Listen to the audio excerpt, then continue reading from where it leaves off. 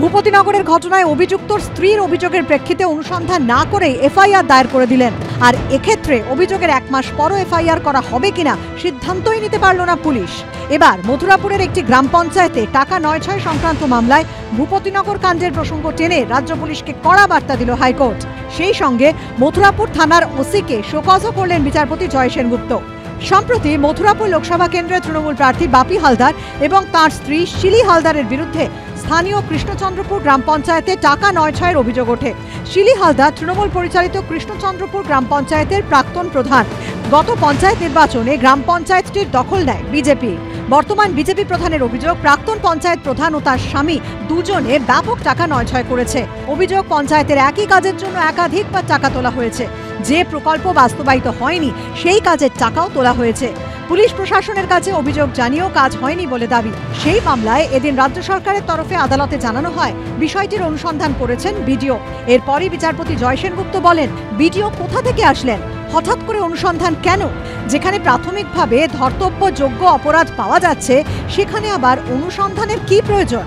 এই সূত্রেই ভূপতিনগর মামলার কথা উঠে আসে বিচারপতির মুখে। বিচারপতি জয় সেনগুপ্ত বলেন, ভূপতিনগরের ঘটনায় অভিযুক্তের স্ত্রীর দায়ের করা অভিযোগের অনুসন্ধান না করেই এফআইআর দায়ের করে দিলেন। আর এখানে অভিযোগের এক মাস পরেও এফআইআর করা হবে কিনা সিদ্ধান্ত নিতে পারল না পুলিশ।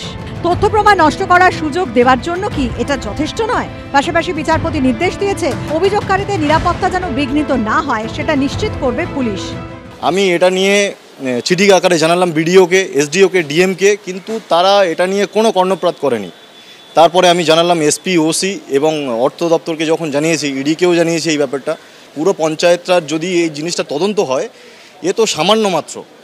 আরও অনেক কিছু বেরিয়ে পড়বে। আমি আশা করছি যে কোর্টের থেকে সিবিআই বা ইডি দিয়ে তদন্ত হবে।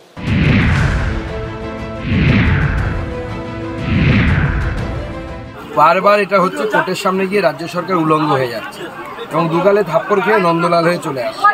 তাও লজ্জা নেই দোকান কাটা। এরপরে হয়তো এই সমস্ত পুলিশ অফিসারদের মেরুদণ্ডে একটু জোর হলেও জোর হবে যে তৃণমূলের দলদাস হয়ে কাজ করলে পরে কিন্তু কোর্ট ছেড়ে কথা বলবে না, কোর্ট কিন্তু কান মনে দেবে। সে আইনে তিনি যা করতে পারেন, কিন্তু আমি আইনের যে স্টেপ বা কোনো পদক্ষেপ, এসব নিয়ে আমাদের কোনো বক্তব্য নেই, সেটা পুলিশ প্রশাসন, তাদের আইনজীবীরা যথাযথভাবে দেখবেন।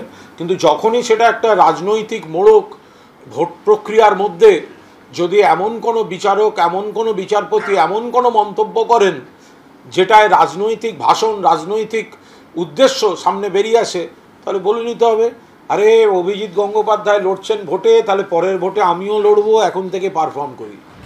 মথুরাপুরের মামলায় পনেরো দিনের মধ্যে পুলিশকে তার বক্তব্য জানানোর নির্দেশ দিয়েছে হাইকোর্ট। সৌভিক মজুমদার ও মুন্না আগরওয়ালের রিপোর্ট এবিপি আনন্দ।